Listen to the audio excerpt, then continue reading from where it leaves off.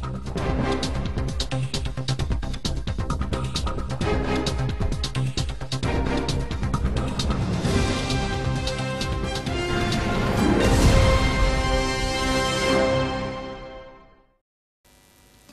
welcome to News English from Nigerian television station. Here comes some news today.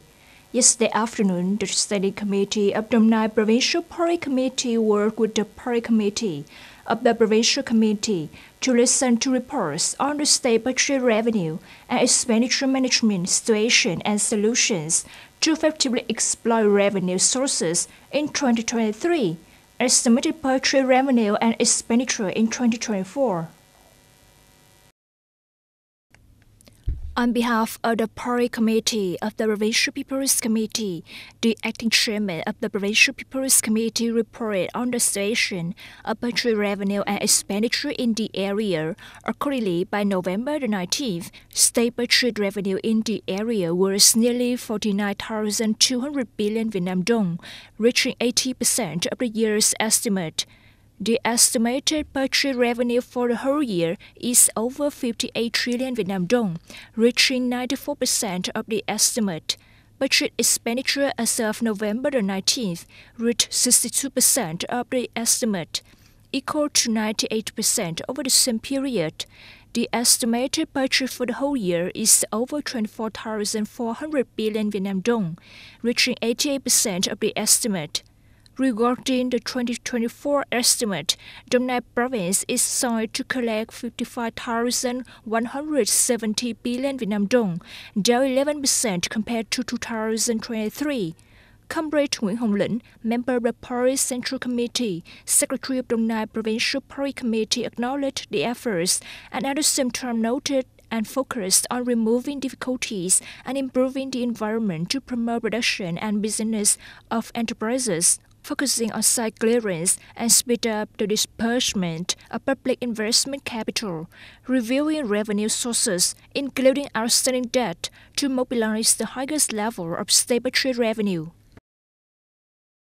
Currently, FDI enterprises are investing in Vietnam with about 38,600 projects across fields, with total registered capital more than 460 billion USD and a disbursement rate of 63.5%. The leading localities in the country in attracting FDI capital are Ho Chi Minh City, Bình Dương, Đồng Nai, Hải Phòng, and so on.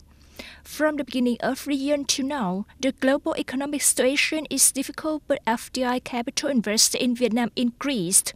In Dong alone, according to data from the Provincial Industrial Zones Management Board, by mid-November, foreign direct investment enterprises invest in Nai reached nearly 29.5 billion USD, of which businesses have dispersed more than 22.7 billion USD, reaching over 77% of the total registered investment capital.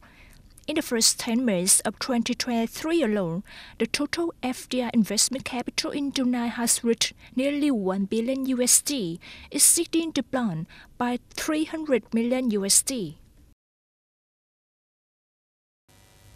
Yesterday, the Vietnam US Trade Forum 2023 was organized by the Ministry of Industry and Trade in Ho Chi Minh City, with the theme raising the level, getting started to discuss the Vietnam US Comprehensive Strategic Partnership and the implications for economic trade and investment cooperation between Vietnam and the United States.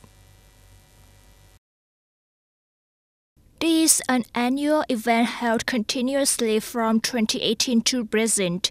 Every year, the forum attracts 300 to 400 live participants, more than 1,000 online followers, and tens of thousands of views via serial channels with the participation and sharing of opinions from ministries, branches, businesses, associations, as well as experts from Vietnam and the United States.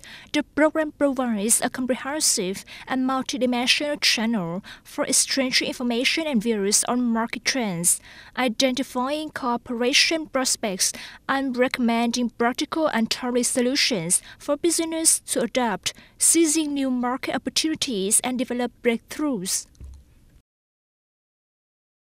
North Korea today announced that it has successfully placed a spy satellite into orbit.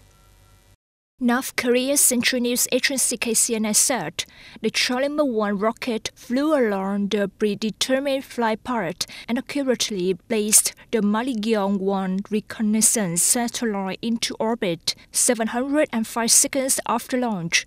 Leader Kim Jong un observed the launch from the launch site in Tongchang-ri and congratulated officials, scientists, and technicians. According to KCNA, the latest launch is North Korea's legal right to strengthen its self-defense capabilities and announced that it will launch a number of more spy satellites in a short period of time. Immediately in response, South Korea partially suspended the 2018 Inter-Korean Military Tension Reduction Agreement. According to the proposal approved by an extraordinary cabinet meeting chaired by Prime Minister Han Duck-soo, Seoul will restore reconnaissance and surveillance activities around the inter-Korean border. Today, Dutch voters will vote to elect a new prime minister and a new national assembly for the first time in more than 10 years. The two most potential candidates for the position of Prime Minister are Charters Minister Dilan Yeşilgöz-Zegerius and Pieter Omtzigt, member of the National Assembly. Ms. Zegerius is the successor of former Prime Minister Mark Rutte, to lead the People's Party for Freedom and Democracy and is facing fierce competition from Mr. Omtzigt of the Dutch Christian Democratic Party. Omtzigt has received widespread praise and fame for his role in drawing attention to the child care benefit tax scandal, which caused the collapse of former Prime Minister Rutte's government. According to the latest polls, the election race promises to be tight and the final result is difficult to predict. That's all for news English for today, and goodbye.